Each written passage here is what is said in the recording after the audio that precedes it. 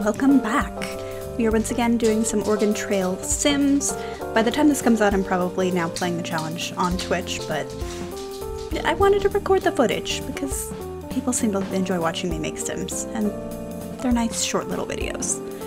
But today we are actually working on the Wainwrights. So this is Boyd Wainwright, and him, he's married to Susan and they have a daughter Blair. I'm not going to be making Blair. She's going to be like a born in game sim just so that she has both of her parents' genetics. Um, yeah, I kind of struggled with Boyd. For starters, I wanted him to wear like a bowler hat, but I didn't have any with like super pale white hair, so I had to give up on that. But I don't think that it's a necessary thing to recognize the character.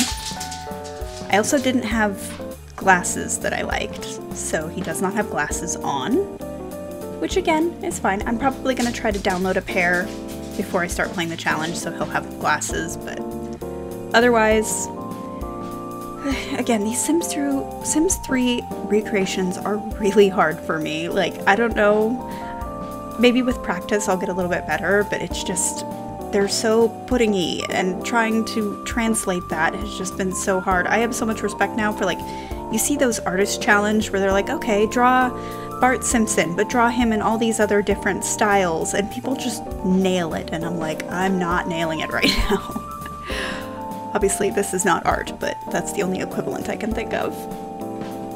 But anyway, Boyd is apparently he spends his workday sitting at a messy desk typing away at a computer, and he spends his days off at home sitting in a messy living room typing away at a computer. He sounds delightful. Actually, sounds like me, let's be honest. But he's a slob, neurotic, couch potato, a genius, and a computer whiz. And he's actually a lower level than his wife. So he's not really a workaholic. I'm actually reading, apparently his hair is actually pastel mint green if you look in CAS, so okay, that's fine.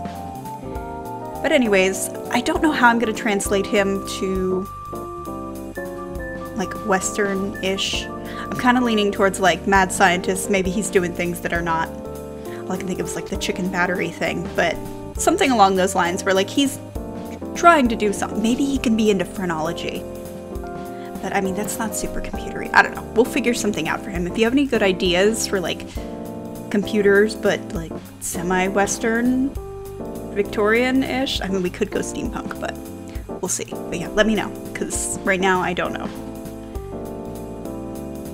Although, again, yeah, I guess you can't really let me know. You know what, I might change when this is posted. Who knows? Who knows? The posting schedule is not my boss.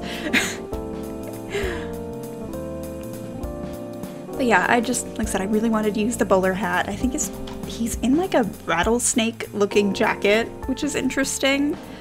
And I knew I didn't have anything remotely like that, but I knew that he liked the color black.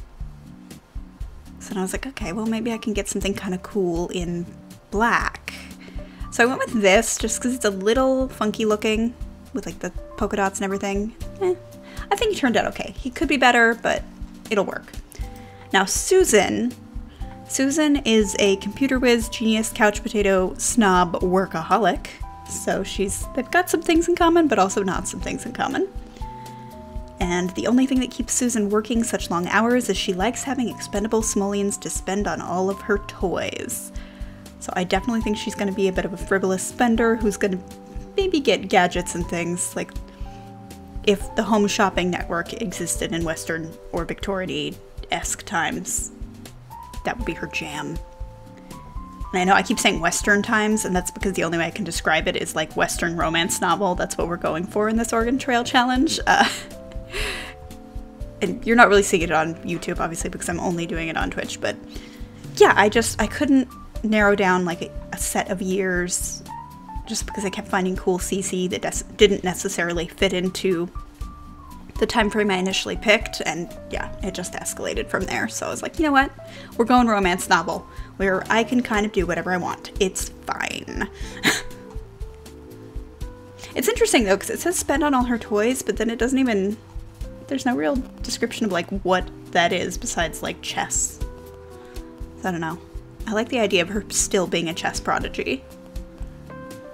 It appeals to me. She was even harder than her husband because her mouth, just with like the lipstick and everything, was hard to get. Also, I'm noticing another pattern with the Sims 3 eyes with the eyelids. So the ones that do have eyelids, they're only kind of, when they're smiling, it seems like it's only on one side. So I kind of started leaning away from that as well.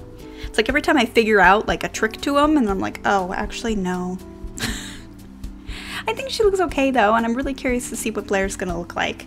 At this point, I have not obviously made her, but that is the game plan for later on today. So you'll be able to see her on Twitch, and I will also post pictures on Tumblr, of course.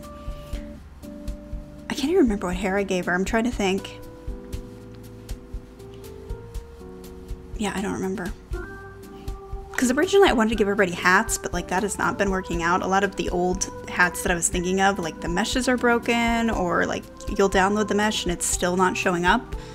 And it's very upsetting and sad. But I knew I wanted to have kind of stringy hair. I say that and now I just remembered I didn't give her stringy hair. I knew that that was a thought process, but I did go end up going with this bonnet. I love this bonnet. It's just so cute. She could still have stringy hair under there. We don't know. So yeah, that is Susan. So let me know what you guys think. Um, you're free to join us on Twitch if you feel like it. Like this video if you enjoyed it. I don't think I have any other pluggy type things to say. So with that, I'm gonna go. I'll see you in the next one.